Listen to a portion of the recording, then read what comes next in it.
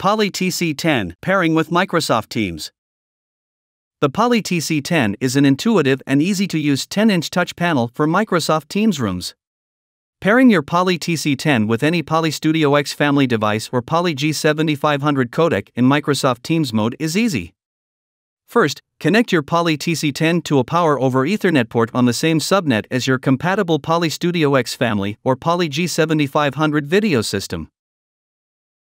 The single cable provides both power and connectivity for a tidy and professional setup. Once powered on, the Poly TC10 will ask how you would like to set it up. Select Pair with a video system and press Continue.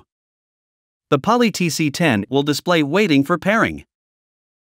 Using any web browser, enter the IP address of your compatible Poly video system. Log in to the web interface. Set Microsoft Teams as provider to be able to access the system web interface by going to General Settings Provider. Then navigate to Device Management. Under Available Devices, select Poly TC10.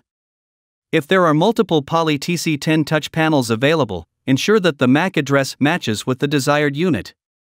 Click Pair. Your Poly TC10 will load the Microsoft Teams Rooms app and then will prompt you to visit the Microsoft Teams device login web page and enter the code shown on your touch controller.